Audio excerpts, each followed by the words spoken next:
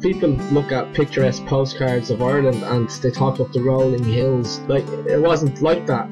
It was once covered in forest, and you wouldn't see the hills like we see them today. And and it's very easy to imagine what it might have been like covered in forest. And it's tragic to realise how much has been taken.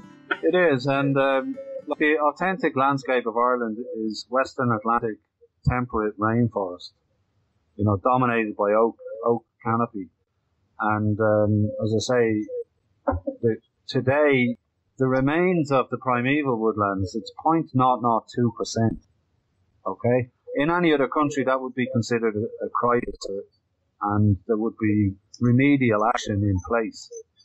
In this country, these little remnant shreds of the Great Forest of Ireland, they're they've been turned into SACs, Special Areas of Conservation or National Heritage Areas, in the care of the National Parks Wildlife Service, most of them. There are no plans to allow their expansion. And the, the problem uh, with that is that they'll basically, they're being fossilized and there's no, there's no uh, dynamic, there's no, imp- they're too small. You know, we can't bring back the great forests as they were. We've got too, much bigger population. We've got towns and villages that you know have been established. We we never see the great forests in, in the way our ancestors would have seen them. We can certainly in, increase the tree cover, you know, from the, the the lowly figure that it is, and as I say, we can create linear forests. We can restore our hills. We would propose regeneration as the main method with some planting natural succession whereby the birches come in, the willows, they self seed. Uh, gorse, gorse is forgotten. Gorse is part of the 28 nat- uh, nat- natural uh, species of tree and shrub. Going back to the Brehon laws, the, all 28 trees and shrubs were listed into four groups of seven in order of importance. and this is where we get the Ogham alphabet from as well, isn't it? But the Ogham would be part, probably older, older than that classification. But yeah, it's connected in, and uh, you know, we had the nobles of the forest, the Arig Fado, then the Attic Fado was the commoners of the woods, then the lower orders, the Fola Fado, and the Lossa Fado was the bushes of the wood. And they're all named in groups of seven. The gorse would be in the Lossa Fado and the bushes of the wood. The oak would be in the nobles and the Arig Fado, the Fola Fado, and the Lossa were the bushes.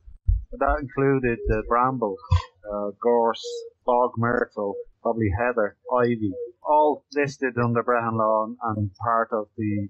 They would be what starts the cover ground when forest is cleared, and basically they start the succession process. The, the Ogham alphabet is 20 letters of the 20, 20 first letter of each name of a native tree the first five, the Bet, Luis, Moon, Fern, Saille, all names of, of Irish trees. Again, we've lost the full meaning and understanding of Ogham. It, it's not just an alphabet. It's a set of numbers. Each one has a colour. Because each of those trees, you would obtain a dye, either from the, the bark, from the leaves, from the fruits, from the roots in some cases. Uh, the Druid spoke of um, a place, the three places to find wisdom at the edge of a stream or a river or the ocean beside the sea, between the mountain top and the cloud and the sky. It's the second place, and the third place is between the bark of the tree and the wood. That's the light, living life force of the tree flowing up and down. There's also references, vague, obscure references to place without dimensions refers to that space, the place without lines or breadth that cannot be um, defined in space and time. So it's part of the wisdom tradition that, that we've lost again, very much associated with um, our forests. And, you know, the Ogham is also associated with the musical notation of the harp. I was going to bring this up actually. Uh, yes, we had on before um, a Cork man, Jared Banks. He, he mentioned the Ogham and he, he talked about the idea of, as you've said, it relates to each tree, but the, the sound of the letter relating to the, the noise that the wind made in the leaves and things like this, and that when we're looking at Ogham, we're not looking at letters so much as we're we're looking at almost musical notation that related to different sort of frequency sounds that the mouth could Yes. make that related to the trees in some way as well. like when I spoke of an each Ogham is a number. Um, it, it's a vibration, which is a musical note as well. Ancient music is a pentatonic scale. That's five notes, five, five, five, four groups of five notes, which directly relates to the Ogham. Um, and there is a, a theory put put out by a civil, civil servant, the poet secret. It's called Ogham, and he basically relates the Ogham to the musical notation of the harp. Um, and again, the, the Ogham symbols, you see, going back to the Druids would have viewed the view of the world, the world view was in triplicate. Basically, they saw the world through gemat, the science of gematria, which is the science of numbers, phonetics, which is poetry, sound, words, and the third was hieroglyphic, symbol, symbolism. And the combination of those three was how they, they viewed the world, almost a, a dream state. But each Ogham character is also a hieroglyph. You know, I have thought about it myself about, about the Ogham and how each tree has a different musical song, has a song because it's structured differently. And it will have a different song when it's in leaf and when it's without leaf, when the wind comes through it Hmm. and the structure of branches, etc., will, will form, you know, with, with wind, um, a different song for each tree. But it's, fascinating, fascinating area, and it's one that we need to start digging, digging into again to try to. I could, I couldn't agree more. I think I think like this old saying, like the people without a language is people without without an identity, and it seems so eh, alien and obscure to us because it is so ancient. But it's a, it's what you're talking about here. You're saying that Ogham is sort of the knowledge of Ogham is infused into the very nature of reality. It can be found in num- numerology. It can be found in sound. It can be found in colours. It can be found in the, the, the trees around us. So I look at the the the Ogham. I actually have the alphabet up here on the wall in front of me. For some reason, it reminds me reminds me of the I Ching. And I wonder if, that, if there's any sort of similar connection there, because the I Ching is supposed to be a, you know, a way of divining based on the same principles. The idea that there is a frequency, there is a vibrational pattern that's throughout nature, and that the stones will fall a certain way. And also, another thing about Ogham that always stuck out for me is the very word itself. Om is the word that they use in India for their transcendental meditation. They say Om. And this is that, that letter in Hindu or in Sanskrit. It's supposed to be a letter that encompasses all the other letters and all the other sounds that the mouth can possibly make. It's the it's the sum total of all all of those vibrations, which to them is a sign of God. And I always think it's very interesting to make these leaps from Ireland to these other cultures because so much more research has been done in those cultures. But the problem in Ireland is the fact that the traditions were uh, were halted, were stopped and stunted. The, the amount of turmoil that was happening on the land and, all, and in the forests and all around meant that the laws um, could no longer continue to um, reflect, to be studied, and to be basically reflect, to have peaceful time to, times to actually develop in a way that they had done for 3,000 years. I remember many years ago when I was speaking to yourself, Andrew, um, about these sort of topics, this idea of the Brehon being referred to as the Chalk the Crown, the speaker of the trees, as, as opposed to we've got TDs today. Um, so the crown being the, the crown being the tree and the chalk the chalk being to talk. So the TD is chalk the doll. I can speak in the doll. The chalk the crown was a word that was used for the Brehon. Is that right? It is. Well, the Brehon gave judgment beneath or beside the sacred tree, the Billa. The, the tree was looked upon as a, a silent witness, a very reliable silent witness. And every Tuath, every tribe had its sacred tree.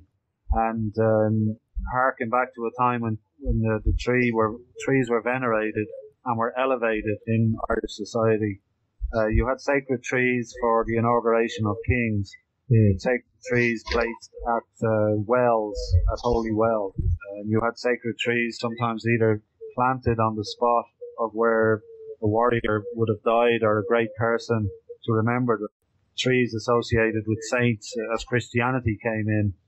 Trees, sacred trees beside churches. the churches were all placed on the sites of the, of the billet of the sacred tree. And in some cases, you have Kill, Queel, which is connected with wood, also being the name for the church, Oswego. So they, they started to, to take over the old ways, appropriate, appropriate the old ways into the new. People were so connected and attached to these sites. And you have the, the five uh, divisions of Ireland, where the, you had five villas, the five ancient uh, villas of, of, the five divisions, which is the, the Villa Torton, the Villa Ishnok, the Craig Dahi, the Yo Rossa, the Yo Moona at Moone Abbey was um, a yew tree, and the other villas, the Villa Torton at Ardbraccan. The Villa Ishnok was a giant ash tree at Ishnok, but they, they were supposedly connected with the, the five divisions of Ireland and were, were planted by what some character called uh, Trefilngid Treocher arrived at a great assembly at Tara at a time when Tara was the centre for assemblies. Again, the ancient Hebrews were lovers of trees. The, the Kabbalah, uh, the points on the Kabbalah were originally trees. And when the Middle East was deforested, they were replaced by precious metals. And it, you, you do have amazing connections with the Scythians, with the Phoenicians, the Egyptians, connections again with trees and, and with sacred forests and uh, he, Hebrew mothers uh, bore their children alone beneath the an apple tree and you know did it alone basically with the protection of the tree.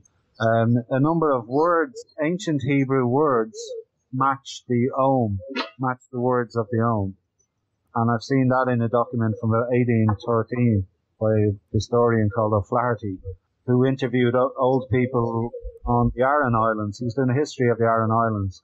At this point, there was still a folk history, you know, a memory, a folk memory that uh, nobody had really paid much attention to because he was Irish. He obviously, and an Irish speaker, he could communicate. And they told him that at one time the Aran Islands was a great oak forest. It was in, in a, a centre of learning. It was the islands like Clonmacnoise, uh, mm. Holy Island here in Lough Derg, uh, these centres of, of learning and wisdom were on islands. In, in a way, the hermet, like the hermetic tradition in the Middle East was the desert, go out into the desert or on, onto mountaintops. Ireland chose island. And hmm. those islands basically were free to anybody, or the education, knowledge was free to anybody who came. In the Annals of the Four Masters, there's a reference to Holy Island, which is down here in East Clare, basically there's reference to Swiss, Scythians, Greeks, Hebrews, Egyptians, all coming to Ireland to learn. Uh, 16 ships at one point calling into Killaloe looking for directions for Inis Cealtra. Wow. So well, I think it's interesting as well, even the name Aran Ireland, it has the root Ara, which is the Irish word for a noble or chief, and it also relates to the Sanskrit Arya. What you're saying ties into that there nicely as well. Just what, what it brings to mind here, um, a question I was asked recently, there was laws under the Brehon law in relation to the, the felling of a sacred tree. You spoke about the nobles of the wood and things like that. Are you aware of, of within the Brehon law other protections for nature, as in for the rivers or other parts of the environment? I mean, I know we are dealing with a different time and they wouldn't have to be worried about things like pollution and things like that. Is there environmental protection laws aside from trees in the Brehon law that you know about? Well, the, the Brehon laws, um, they, they're more a set of principles, hmm. guidance for, for how to navigate na- navigate life um, and make sure ensure that the rights to all living beings and to the environment that supports the, the two the, the people and their surroundings. Mm. So no specific, they don't go into specifics, but it, but they are extremely, as, as you know, Kev, from looking at them, they're extremely complex mm-hmm. and sophisticated in the detail they were because they were they kept evolving, they kept improving them, they kept um, evolving over a long time, over 3,000 years. They kept whittling them, customizing them according to new situations that would arise, um, new developments, new, new, ideas that came in, something again that the English law cannot do. It, no. Back or it has to keep going back. But the, if you take the laws to protect the trees, if you then understand how much the, the trees confer stability on water, on air, and on soil, the, the, they confer the fertility of the soil is coming from the trees. The, the protection and the, the vitality of water, the water, streams and rivers the, are controlled by the root action of trees. So by protecting your trees, you're protecting your environment. And that goes back to another reason for setting up the Woodland League was you, you've so many different groups set up to protect, you know, looking at different issues to do with the environment. It, our whole environment comes under the trees, basically. The trees are the, the stabilizers of our earth. They, they control our climate. We know that, you know. Basically, the more you look into what the trees do, what we can't even see going on, it, it's unbelievable, basically, how much that they uh, have an influence on ensuring all life systems and ecosystem services are functioning the, the trees and the forests are a wonderful way um, to reconnect. The Brehon Law is still alive, and the, you know this wisdom is is, always um, attainable. It's always there. The same wisdom that applied thousands of years ago still applies today. There's three words around their logo, and it's a part of one of those um, Celtic wisdom, tri- Gaelic wisdom triads I was talking earlier about the Druids' worldview was a tripartite view, and they, they had a whole system, a wonderful, huge amount, probably thousands of kind of proverbs that were in a triad form. And the one that surrounds the Woodland League logo is that what are the three candles which illuminate any darkness? And we're, you know, we're in a time of darkness in, in a way with so, much negativity going yeah. on and disturbance and depression in some cases. And anyway, but the three candles which illuminate any darkness are Aiksha, which is wisdom, Firna, which is truth, and Dura, which is the elements. So adhering to those three candles, if you stay close to wisdom, stay close to truth, and stay close to nature, you, you keep darkness at bay. And it, like the forests and the, the nature it, it's a it's a, an abundant source of rejuvenation, and the connection to that source means you can never be alone. Nothing is ever lost. Mm. We merely put things down. We, we leave things down. We've got to just go back and pick them up again. You know, it's all there. And that ties in also with the understanding and connection with the trees of one of the reasons why the tree was the silent witness of a judgment, why the tree was the silent witness of the inauguration of a king. And that's tied into the Druid understanding that the trees hold all knowledge, all information, all wisdom, knowledge about the trees. They refer to it as the cosmic library. And that corresponds to the Sanskrit similar understanding which is the uh, Akashic records. The trees hold the Akashic records, and that is they stand as silent witnesses in non-judgment, and everything that's ever been in in say that's happened on this earth, they know. They because they witnessed it. Remember, the trees are here 400 million years. They converted mm. this rock from a lifeless place to this self-supporting um, ship sailing through the cosmos, basically, that we live on, that sustains us. Mm. You know, and the trees played a huge role in that evolution. Humans are only half the time on this earth. So the trees are the longest living organisms, the oldest living, the largest organisms on earth. You know, some of the trees appear to be able to live forever, like the yew tree can live for five, six thousand years, appear to die right back into its roots and from its own roots come back up again. One of the reasons it was seen as the resurrection tree before the Christian said resurrection, the trees were already there. In a sense, um, they trees are life. You know, that expression is used and is known and is close enough to, to being the truth.